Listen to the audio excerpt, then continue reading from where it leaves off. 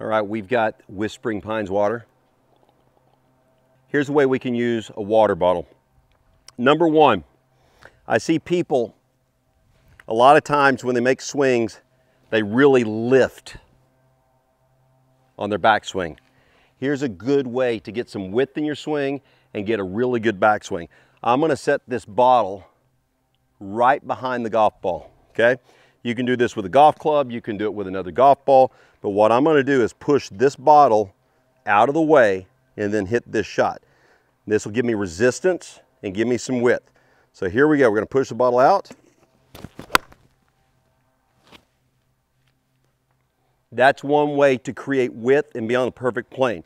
Now, let's talk about the guy that cannot keep from uh, going over the top of it. He comes way over it.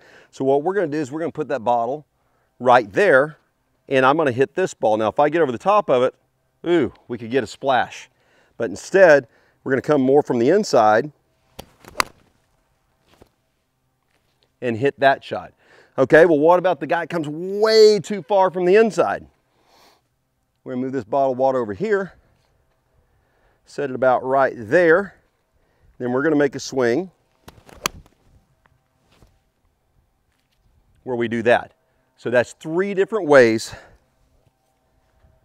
to take this really cool Whispering Pines bottle of water